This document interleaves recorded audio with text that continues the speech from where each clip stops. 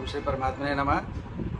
मैं senior professor हरिहृदय Awasthi, अपने परम पूजी गुरु जी प्रातः स्मरणीय वेद मूर्ति तपोनिष्ठ गीता, उपनिषद, पुराण और धर्मशास्त्र के विशेषज्ञ, प्रोफेसर पंडित भगवत शरण शुक्ल जी के साथ में आप सभी का Awasthi Ayurveda anatomy, yoga and spirituality channel पर हार्दिक स्वागत करता हूँ। गुरु जी हम लोग को सांख्य कारकाओं की कारिकाएँ सिखा रहे हैं। आज उनचासवीं कारका है तो उसको सरल शब्दों में समझने के लिए चलते हैं गुरु जी की तरफ़। नमोस्त्वनन्ताय सहस्रमूर्त सहस्रपादाक्ष शिरोरुबाहवे सहस्रनाम्ने पुरुषाय शाश्वते सहस्रकोटि उदाहरणे नमः। कृष्णाय वासुदेवाय हरे परमात्मने। प्रणतक्लेशनाशाय गोविंदाय नमो नमः। इस चैनल से संबद्ध सभी विद्वद्गण, सभी जिज्ञासु छात्र वृंद सहृदय सज्जन वृंद एवं इस चैनल के संस्थापक तथा प्रबंधक आचार्य हरिहृदय अवस्थी जी, आप सभी का सांख्य शास्त्र के विचार परंपरा में स्वागत है। आज हम लोग उनचासवीं कारिका पर विचार कर रहे हैं। वस्तुतः विपर्य के जो पाँच भेदों का कथन हुआ, उनमें एकादश इंद्रियों के का जो है अशक्ति के वो अट्ठाईस भेद क्या हो सकते हैं? उस पर चर्चा है।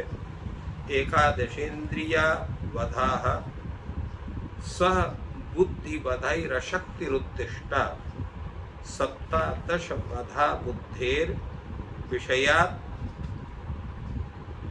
विषयात तुष्टि सिद्धि न तात्पर्य है कि एकाद दशेन्द्रिय पथा तो बुद्धि के अपने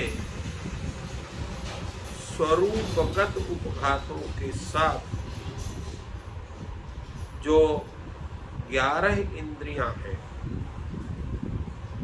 अर्थात पंच कर्मेंद्रिय पाँच ज्ञानेन्द्रिय और मन तो इन ग्यारह इंद्रियों के जो उपघात हैं, अर्थात ग्यारह इंद्रियों के उपघात से उत्पन्न जो बुद्धि के उपघात हैं, उनको हम अशक्ति शब्द से जानते हैं।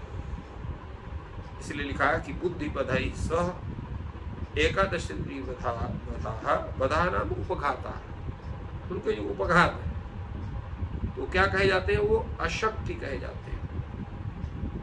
और सप्तश बाधा बुद्धे विपर्यात तुष्टि सिद्धि और बुद्धि के जो यह सप्तश उपघात बुद्धि के जो ये सप्त सप्त सप्तश माने सत्रह। तो बुद्धि के जो यह सप्तश उपघात है, वो उपघात तुष्टि और अष्ट सिद्धि के विपर्य से वह जो है सप्त सप्तश स्वरूप होते हैं। ये इनका कथन है। इसकी व्याख्या आचार्य वाचस्पति करते हैं। इंद्रिय वध से ग्रह, बुद्धिवध हेतु तु अशक्ति भेद पूर्ण इंद्रिय वध का जैसे वध का अर्थ उपघात है। तो इंद्रिय उपघात का ग्रहण इंद्रिय से ग्रह बुद्धि बध हेतु तो इंद्रिय वध का जो ग्रहण है, वो इस कारण किया गया है कि बुद्धि के बधों का वह हेतु है, उसका कारण है। न कि न तो अशक्ति भेद पूर्ण वह अशक्ति भेद को पूर्ण करने के लिए नहीं है। अर्थात उसमें वो परिगणित करने के लिए नहीं है। और एकादश इंद्रिय बधा बाधिर्यम कुष्ठितांधत्व जड़ता, जिघ्रता तथा मूकता कौण्य पंगुते कई क्लैप्यो दावर्त मंदता बुद्धि, एकादश इंद्रिय के जो उपघात है वो क्या है? तो उनकी चर्चा इस से की गई है। की बाधिर अर्थात गूँगा कुष्ठिता कुष्ठिता का मतलब कोढ़ वगैरह होना। अंधत्व, अंधापन, जड़ता जड़ता होना। और अजिघ्रता अर्थात घ्राण इंद्रिय नष्ट हो जाना, मूकता, जो है गूंग जो है, उसका गूँगा होना। कौण्य कौण्य माने काना होना। और अपंगुता पंगु कौण्य पंगुता। पंगुता माने लंगड़ा होना। और क्लैप्य क्लैप्य अर्थात नपुंसकता होना। और जो है उदावर्त मंदता। अर्थात उदादोष होना। और मन का जो है मन का प्रमाद। तो ये जो है, ये क्रमशः इंद्रियों के दोष हैं। जैसे बहिरापन, ये कर्णेंद्री का दोष है। को जो है, ये उष्ठता या हाथ पैर का दोष है, अंधता आँखों का दोष जड़ता जो है, वो बुद्धि का है दोष आजीर्वता जो है कर्णेन्द्री जो है घ्राणेन्द्री का दोष है, मुक्ता जो है बाघिंद्री का दोष है। और इसी प्रकार जो है कौण्य कौण्य का तात्पर्य हो गया जो है, आपका गूंगापन कौंडता। कौंडता माने हाथ का दोष, पंगुता पैर का दोष, नपुंसकता जो है, जननेन्द्रिय का दोष, और आवर्त आवर्त, उदावर्त, ये जो है, उदा इंद्री का दोष है। और इसी प्रकार मंदता जो है, मन का प्रमाद जो है, ये मन का दोष है।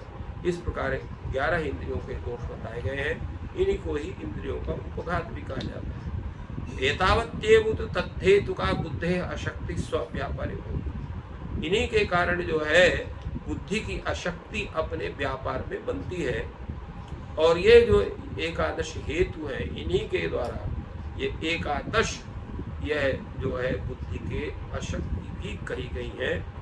और हेतु और हेतुमान के अभेद भी अक्षर होने के कारण इनका सामान अधिकरण होता है। तात्पर्य इंद्रिय का वो सामर्थ्य भी वही रहता है, इंद्रिय के ये दोष भी रहते हैं, और ये इंद्रिय को दोष और उसके बुद्धि, उसी को बुद्धिवध भी कहते हैं। प्रकारभूत जो समानाधिकरण है कारणभूत जो इंद्रियवध उसके कारभूत जो बुद्धिवध है, दोनों का समानाधिकरण होने से इसमें कार्य और कारण की अभेद की स्थिति बनती तदेव इंद्रियवध द्वारा बुद्धे असत्यत्व इस प्रकार इंद्रिय इंद्रियवध माने इंद्रियों की उपघात तथा इंद्रिय सामर्थ्य की जो हीनता, वही है बुद्धि का अशक्ति। उसको कहने के बाद यहाँ पर स्वरूपतः उसके अशक्ति को कह रहे हैं कि बुद्ध विधाई सह बुद्धिवध के साथ अशक्ति तो अब कति बुद्धे स्वरूपतः बधा